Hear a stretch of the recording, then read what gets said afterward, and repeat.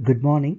Myself, C.D. Prem Kumar, Assistant Professor, Department of Information Technology, Hindusthan College of Engineering and Technology, going to deliver a content on software project management. In this video, we are going to discuss the concept of activity planning in software project management. As an outline, we're going to discuss the concept of objectives of activity planning, then project schedule.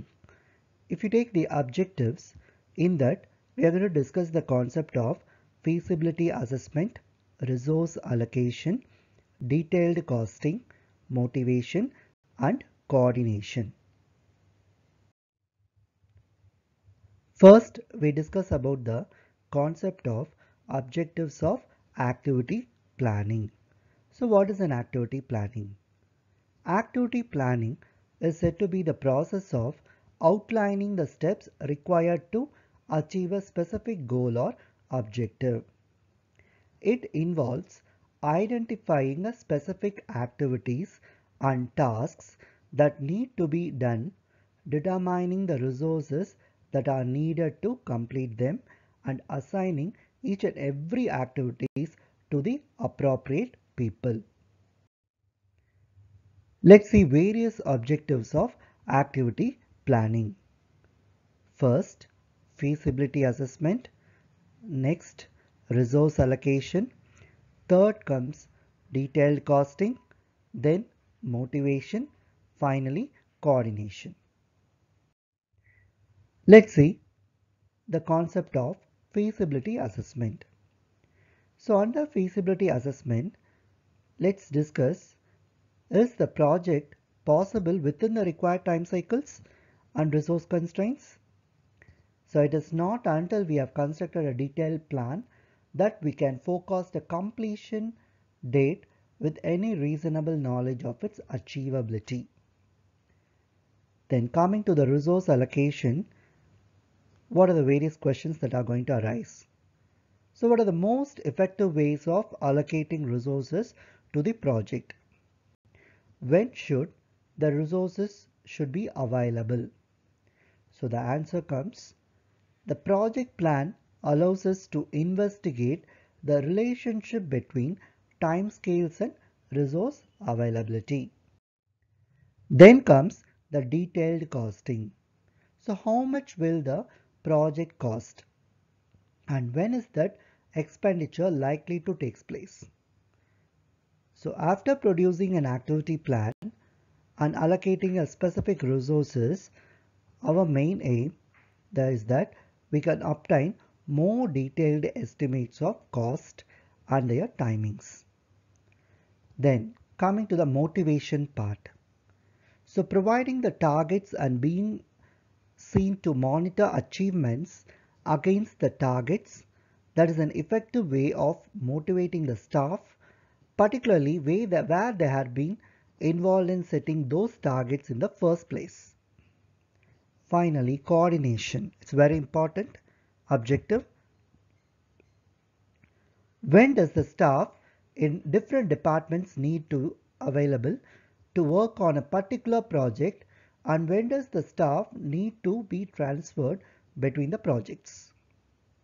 So the project plan, particularly with large projects involving more than a single project team that provides an effective vehicle for communication and coordination among teams. So coming to the project schedule. So what is a project schedule?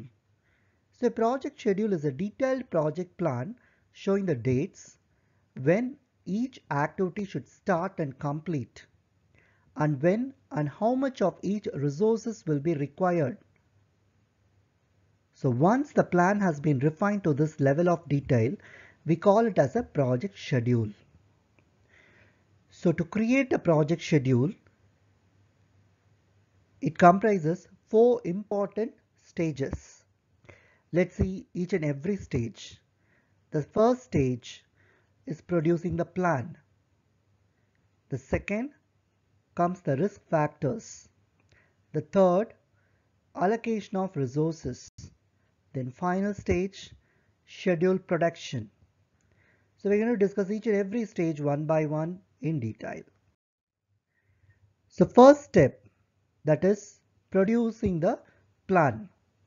So what are the various uh, steps under the producing the plan? So first, what are the activities have to be carried out? Then, what is the order to be followed? That is the sequence of order in which each activity has to be handled.